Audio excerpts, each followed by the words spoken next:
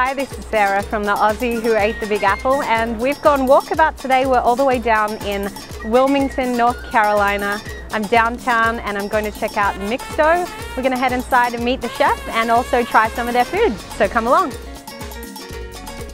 Located right on the river in downtown Wilmington, Mixto showcases some contemporary Latin cuisine with live music, salsa dancing, and specials happening every night of the week.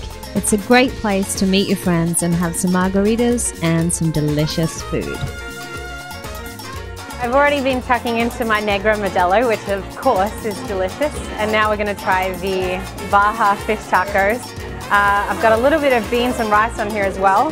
It looks like I've got um, pickled red onion, a little bit of mango for something different, and uh, some battered fish inside here on the taco. So let's try it. Nice crispy fish and then there's pickled onion. I should say the mango is like a really nice sweet twist on it. It's like a good Baja fish taco. I like it.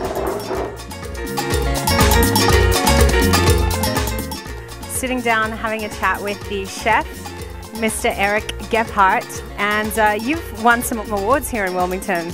Uh, last time I was here, you had just won the best chef in Wilmington. How was that, and what was that experience like? Uh, it was great. It was a lot of fun. I actually had my uh, my wife was my sous chef, so it was very interesting. Uh, we were outside, and uh, it went from 50 chefs to the top three chefs cooking against each other, and uh, we came out on top with our Latin cuisine. It was really nice. And what was the dish that won it for you, that won Best Chef in Wilmington? The, uh, the appetizer was a crab mango avocado salad uh, with like a lemonade vinaigrette. The second course was a pan roasted local flounder over local goat cheese risotto and a spicy shrimp sauce with asparagus and fried leeks. And the third was a, uh, a, a, dish called sopa borracha, which means drunken soup. Uh, and it's actually a bread pudding, so it's, it's quite nice.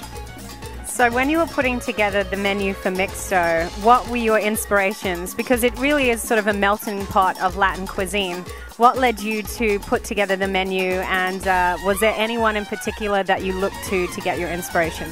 We looked a lot at uh, Rick Bayless and some other some other places locally that, that are doing well with it, but we also have to take in consideration our, our uh, location. You know, we're right on the river, so we've got we've got to kind of you know keep keep true to ourselves in, in our creative sense, and then we've also got to uh, play to the masses a little bit. So you'll find both uh, really eclectic things on our menu, and then something for everybody as well.